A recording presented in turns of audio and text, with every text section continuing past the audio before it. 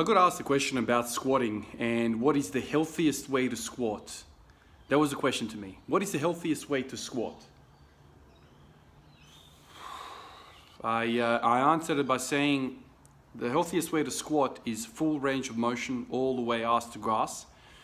Um, I hate saying this, but studies have shown that there's less shearing forces on the knee when you go ass to grass and you don't reverse the, the, the descent motion at 90 degrees of the knee angle and then you bounce back up from a 90 degree angle. It's a lot better when your hamstring touch your calves and then you go up from there. But then I said it is extremely difficult to squat ass to ground, especially if you live in the Western world and you're a Westerner who is used to sitting on chairs, toilets, and cars, um, and who basically never gets below 90 degrees of a knee angle, period, let alone to go and put weight on your back and squat with weight added. Um, but that doesn't mean that you don't squat at all. Uh, I kind of, when I, when I read this question, I kind of thought it's kind of like asking somebody, what's your favorite car? Or what's your favorite song? Or what's your favorite color? Um, you know, squatting is like any other thing in the world. Um, some people prefer it 90 degrees, some people prefer it all the way. Yes, our study said that it's better if you go all the way, but this study said over there, you know, it's better to go this way. The bottom line is, I don't think any of this should deter you from squatting at all. I think you should just start squatting um, and do as much as your body can do, and then you progress from there.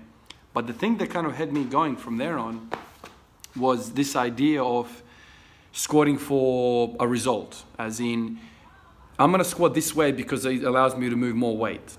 Um, I highly disagree with that. Um, that's definitely not my way of training. I don't do something so I can do more weight. That's never been my motivation. My motivation has always been form, as in, when I see somebody squat ass to grass, for instance, like Clarence Kennedy, and he squats, say, 300, that is far, far, far more impressive to me than seeing somebody squat 350 and it's a Westside Barbell squat where he's kind of like wrapped up in 50 layers of knee pads, knee wraps, and he's got massive suit and he's basically sitting into something that's going to recoil him back up. Um, to me, it's much more impressive to see Clarence Kennedy squat than a lot of the people on the net who squat. Um, this is why I always kind of deviate towards, uh, you know, watching Olympic weightlifters squat um, because it's far more appealing to me. Um, I've also heard, you know, throughout this squat everyday program, oh, dude, if you just squat parallel, you'll be able to squat more weight. To me, that's not what I'm after. Like, I'm not after anybody saying to me, oh my God, like you squatted this much weight, you're better than me. I don't really care about that. For me, the, the thing has always been, I know what the human body is capable of, and I want to train to what the human body is capable of.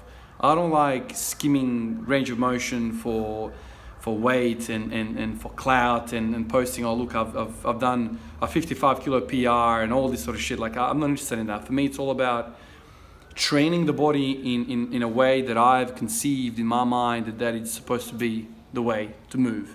Um, now, I, I, can already hear some of you guys saying, well, squatting ass to grass for weightlifters is, the, the reason why they do it is because they have to catch the bar really, really low. So if somebody can squat ass to grass, he can catch that bar ass to grass.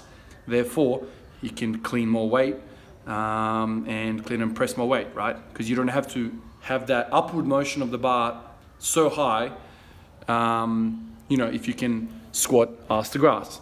So for me, it's kind of like, I don't want to sound, see here, I don't want to sit here and say to everyone, oh no, if you don't squat to grass, you're not worth your shit. I'm, I'm that's, that's not who I am. I am somebody that just wants everybody to train. I want, I want everybody to get out, you know, off the couch and start training. Um, but when I, when I get asked a direct question like that, I'm always going to say what I feel, right? Like I'm not going to say, you know, oh, so you can squat to grass, but no, no, don't do, don't, don't squat to grass. Squat to parallel, um, squat like the Westside Barbell Boys, and, and that's it. The Westside Barbell Boys basically was squatting to break records, and break records in a competition which didn't give a crap about squatting below parallel. So if the sport says squat to parallel and you are there squatting below parallel because you like it that way, you're not going to be breaking any records because the dude that's squatting just to parallel is going to be lifting a lot more weight than somebody who's squatting ass to grass. If you're interested in breaking records and you just want to chase that, that's that's uh, like I don't want to, well, I don't know what to tell you, man. You just go ahead and do that. Um, but that's not my uh, goal. Like I, I, really don't care. Um, it's kind of like saying you have a job A and a job B. Um, job B pays way more than job A, but job A is more enjoyable and, and more appealing to you. Which one are you going to take? You know, obviously there's going to be a, you know checks and balances between the two things. But if you're that person that just chases money, chases results, chases, you know, weight on a bar, and, and that's that's all you care about, and that's like that's you, right? But for me, it's more about the journey. It's more about how I feel throughout the journey. It's more about how I, you know, um, how much fun I'm having throughout the journey. So all of that matters to me. It's not just about you know I want to get there. Um, I don't know. That's how that's how I've always been. Um, I don't know why my brain works this way, but Manchester uh, City, Manchester City, the football club popped into my mind. Um, you know, back back when they got you know bought out by that billionaire tycoon person from the Middle East, all of a sudden they had all this money available all right, let's buy all the, all the best players, let's buy everyone and just get them together and let's let's win some, you know, Champion League finals, you know. And it, they didn't do that. They didn't do that for many many years. Like right, just buying people and putting them in the same room wasn't, you know, uh, wasn't the, the, the secret sauce. It wasn't the secret recipe um, to success. Um, whereas somebody kind of like, I don't know, somebody like, I don't know, Arsenal or Manchester United who you know, during the um, Alex Ferguson's era, like they, they, a lot of those guys got brought up through the ranks, through the youth academy. They learned the system, they learned how to play, um, you know, and by the time they got to the, to the first team, they knew exactly what, what the expectation was and what the style of play that they wanted. Um, so to me, like that's much more appealing to me than just splashing a bunch of money and just getting all this super duper, super duper guys, putting them in the same room, be like, oh, let's go play. Like, you know, obviously that's a quicker route to success. You know, that's kind of the Westside Barbell thing where you you know you cut depth um, and you put more weight on the bar, and it's kind of like a lot easier to do this um, than you know get that same weight on the bar and go ass to grass. Whereas Manchester United is kind of like it's a much longer process. It's a lot more tedious. There's a boring thing called flexibility and mobility you have to worry about. Um, there's just more involved squatting ass to grass. A lot of people can't even squat ass to grass, like, and they're not interested in getting there. For me, um, I basically get turned on by doing all the other fluffy shit um, so I can come in here and squat ass to grass. Um, because the result is, is much more fruitful, it's much more beautiful to watch somebody squat ass to grass, um, and it's the way we're supposed to move, you know.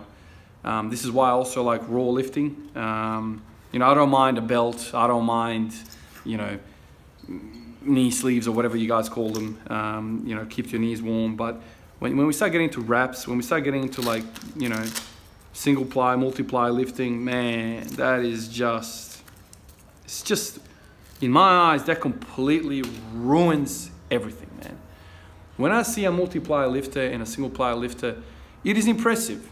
But I can't wait for them to take all that shit off so I can see them lift raw because I, I have nothing to compare that to on a daily life. Because like I don't know how much the suit is giving that person, and I don't know how much that rep is giving that person.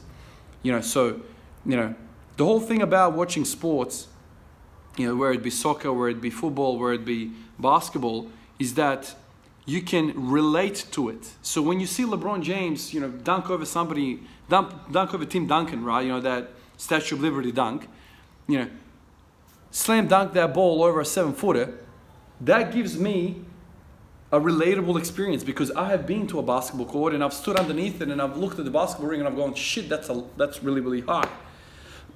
right? I can relate to it. Um, so I, I, find it amazing when I saw that. I was like, wow, he dunked over seven footer. That's incredible. Like, that's how high he jumped to be able to do that.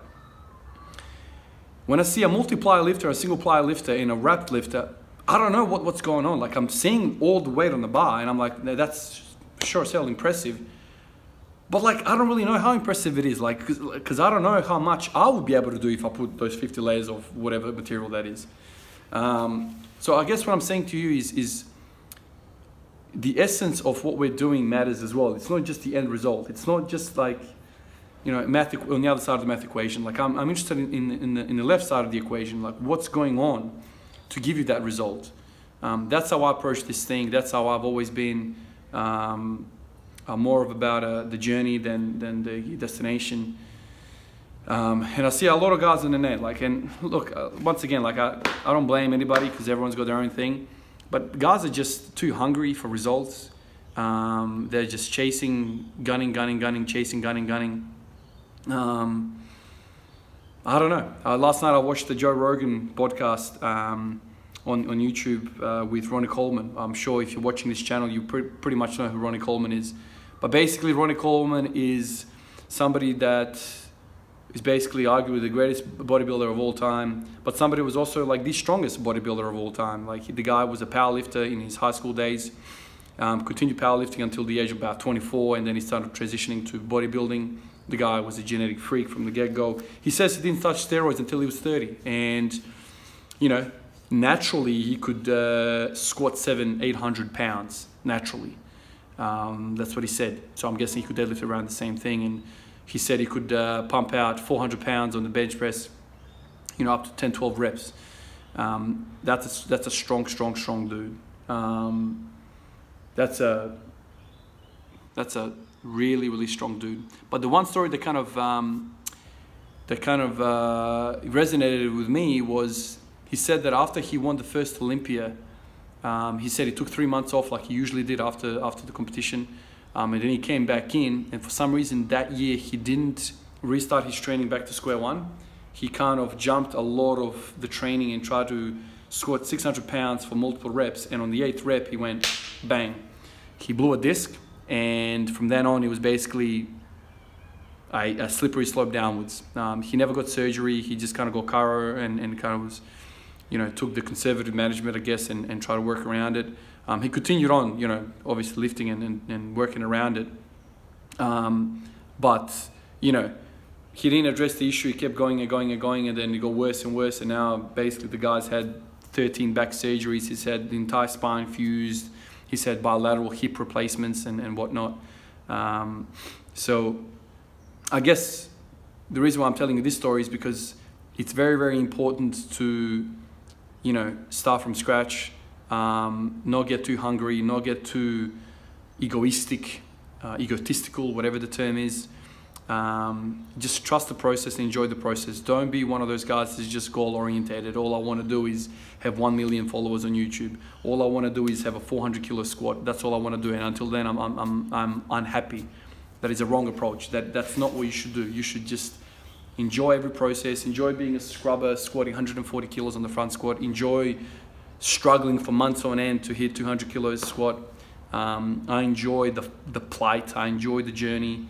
Um, and I encourage you guys to have that paradigm shift in your mind and, and, and, and think of life that way because all too often I've seen people make it to the top and they've gone, oh, this is it. This is all there is to it. Um, and then they feel bad about not enjoying the journey because when you get to the top, oftentimes it's actually quite lonely. Um, so, uh, so they've said. And how many, how many, how many guys have you seen make it to the top and be unhappy and freaking even commit suicide and all sorts of things? So, don't just focus yourself on the results. Focus on the journey. Focus on health. Focus on on going through the journey a proper way, and don't just you know be all too hasty getting to the top.